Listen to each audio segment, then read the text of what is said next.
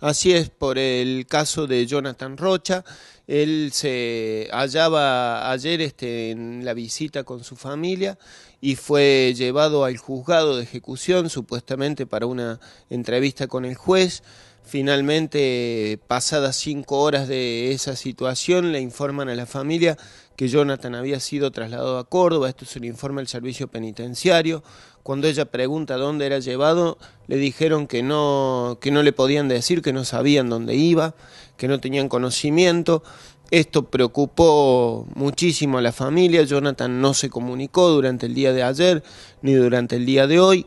Esta mañana le llamaron a, la esposa de Jonathan informándole que se encontraba en el centro psicoasistencial en Córdoba teniendo eh, asistencia psicológica, eh, psiquiátrica mejor dicho, permanente.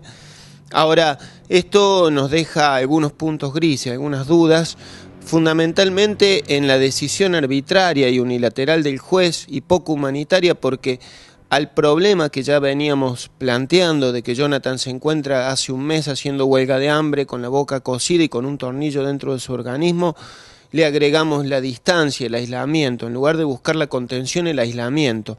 Entonces creemos que es una medida que atenta claramente los derechos humanos y que muestra que la necesidad de un juez se impone por sobre el sentido común y por sobre la vigencia de los derechos humanos. Entonces vamos a hacer la presentación de dos habeas corpus en el día de hoy, uno en el mismo juzgado de ejecución y otro en el juzgado de control, para ver qué determina la justicia respecto de este caso. Ahora, nuevamente volvemos a hacer hincapié que responsabilizamos al señor juez de ejecución, el doctor Ezequiel Barrenechea, al director de la cárcel y también al gobernador este, José Manuel de la Sota de la salud y de la integridad física de esta persona.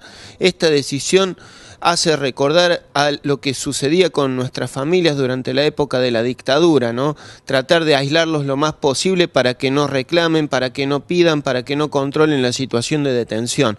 Este juez, la verdad que hace recordar muchísimo al personal de la justicia que atendía a nuestras familias durante aquellos años de dictadura.